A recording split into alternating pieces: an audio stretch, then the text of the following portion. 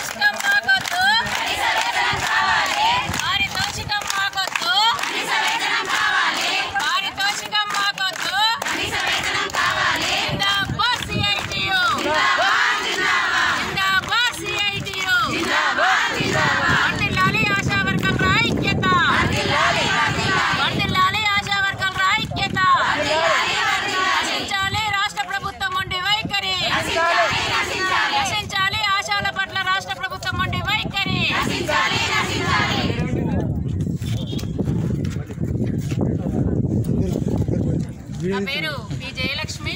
ASHA union రాష్ట్ర అధ్యక్షురాలని.